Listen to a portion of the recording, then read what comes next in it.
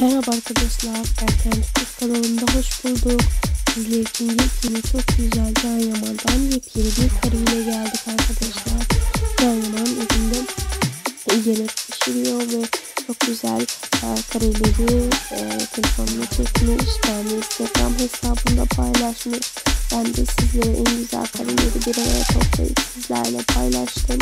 Umarım sizler de beğenirsiniz ve Can Yaman'ın yepyeni çok güzel karelerini görürsünüz.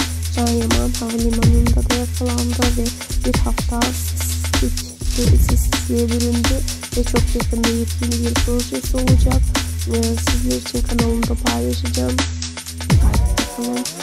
Yepyeni